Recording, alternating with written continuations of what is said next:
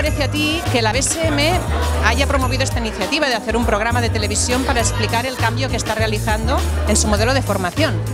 Es una idea súper innovadora, muy alineada con los valores y con lo que quiere transmitir la BCM.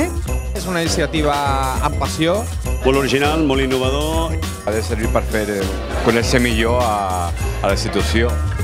Si no fem coses diferents i no expliquem les coses tal com les volem transmetre, no podem donar exemple. Doncs això és un repte que jo crec que és engrescador i enriquidor per tots. ¿Cuál crees que es el mayor reto que afronta la BSM en esa transformación del modelo educativo? Justamente entender esta nueva generación, esta nueva generación de millennials que eh, entienden las cosas de otra manera. Intentar que hi hagi un ADN propi i intentar que la gent surti pensant bueno, no només he vingut a fer allò que volia fer, sinó que a més a més m'han regalat, entre cometes, una cosa molt important per la meva vida amb la que no comptava. Jo diria que la principal transformació és la aplicació, a l'aterrar tots aquests conceptes que nosaltres estem intentant promulgar.